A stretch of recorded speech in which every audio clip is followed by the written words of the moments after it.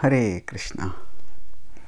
Problems are like burdens whose weight increases with the attention we give them. Suppose we were carrying some weight and we found that as we were carrying it, it started becoming heavier and heavier and heavier. Now, if we wondered, is this just my feeling? And we weighed it, initially say it was 10 kg and now it has become 20 wonder what is happening? How is this weight increasing? We would we would want to either get rid of that weight or at least check I mean stop the process which is making that weight increase. Otherwise we will be just burdening ourselves too much. So pro the problems in our life are this kind of burdens. That means that the when whenever we have a problem it is like a weight on us and that's understandable that we all have responsibilities that we need to take care of. At the same time uh, what do we do to move forward in our lives so that those bur bur burdens don't become bigger? Quite often we'll see that if we keep thinking about a problem we keep thinking about it and then it just becomes more it just becomes more and we become more and more confused and vexed and exhausted and thus the problem's burden seems much heavier. A simple example would be that if we are trying to solve some mm, some problem, we just need to sometimes stop thinking about it. So if we are doing some maths problem at late at night and we are struggling and getting nowhere, we take good rest, wake up in the morning, and then we look at it and with with a fresh eyes, with fresh mind, we are able to deal with it, and we solve it immediately.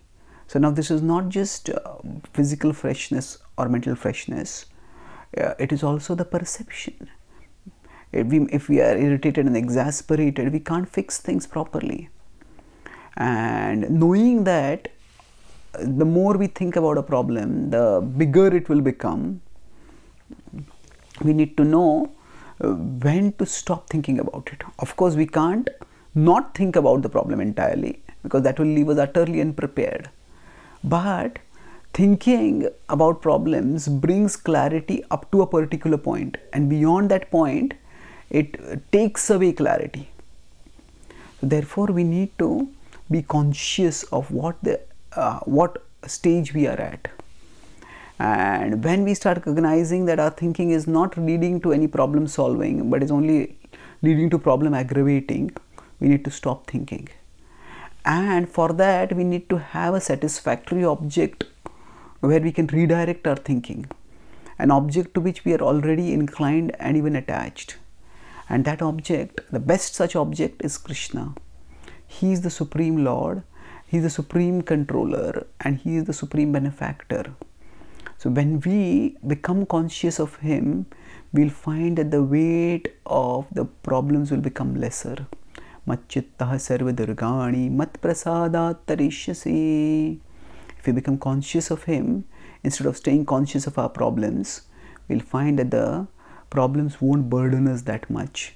And by connecting with Him, as we start gaining strength, we will be and uh, insight, we'll be able to solve that problem or at least learn to more prudently live with that problem.